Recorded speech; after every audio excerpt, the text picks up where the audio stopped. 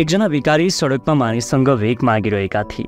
त्यही समय एकजना धनी व्यापारी उनको अगाडि उभि यो देखेर उक्त भिकारी मनमनै खुसी हुँदै सोच्न थाले यी व्यक्ति धेरै नै धनी छन् जस्तो छ।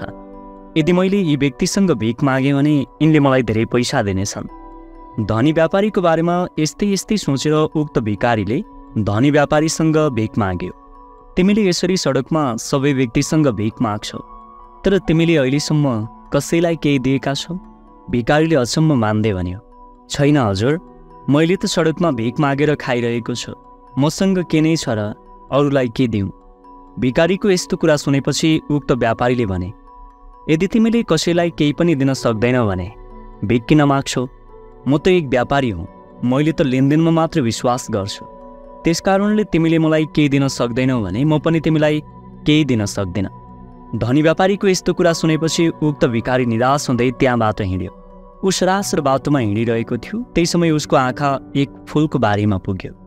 फुलको बारी देखेपछि उसले सोच्यो यही फुल लिन्छु र जसले मलाई भिख दिन्छन् तिनी मान्छेहरूलाई एक एक गरी यो फुलहरू दिन्छु। यस्तै सोच्दै उसले केही फुल टिप्यो र भिख माग्नको लागि सडकमा पुग्यो। जसले उसलाई भिख दिन्छ उनीहरूलाई उसले एक एक गरी फुल दिन थाल्यो। भिख दिने व्यक्तिहरूलाई फुल दिँदा उनीहरूले उसलाई खुसी साथ भिख दिन थाले। यस्तै गर्दा गर्दै उसले केही पैसा जम्मा गर्यो। र फुलको व्यापार गर्न सुरु गर्यो। व्यापारकै सिलसिलामा उसको भेट तिनै पुरानो व्यापारी जसले उसलाई भिख दिन अस्वीकार गरेका थिए उनैसँग भेट भयो। उनलाई भेट्न साथ त्यो भिकारीले सोध्यो तपाईँले मलाई चिन्नुभयो? उसको कुरा सुनेपछि ती धनी व्यापारीले भने मैले चिन्न सकिनँ सायद हाम्रो भेट पहिलो पटक भइरहेको छ। व्यापारीको कुरा सुनेपछि उक्त भिकारीले भन्यो हाम्रो भेट पहिले पनि सडकमा भएको थियो जहाँ मसँग तपाईँलाई दिन केही पनि नहुँदा तपाईँले मलाई भिख दिन मनाही गर्नुभएको थियो। तपाईँले मलाई भिख दिन अस्वीकार गरेकै कारणले म आज भिकारीबाट एक फुल व्यापारी भएको छु। आज म व्यापारकै सिलसिलामा अर्को सहरमा जाँदैछु। तपाईँको कारणले मैले आफूलाई आफूले चिन्ने र देख्ने मौका पाएँ जुन मौका मैले अहिलेसम्म पाएको थिएन।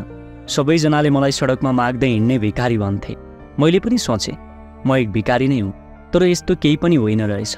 मैले त मेरो परिचय समाजमा दिन सकेको नै रहेनछु। अरूले मेरो लागि जुन परिचय बनाइदिएका थिए त्यसैको प्रयोग गरिरहेको रहेछु। यदि तपाईँले मलाई त्यो दिन भिख दिएको भए मैले कहिल्यै पनि आफूलाई चिन्ने अवसर पाउने थिएन। तपाईँको कारणले गर्दा म आज एक भिकारीबाट सफल फुल व्यापारी भएको छु।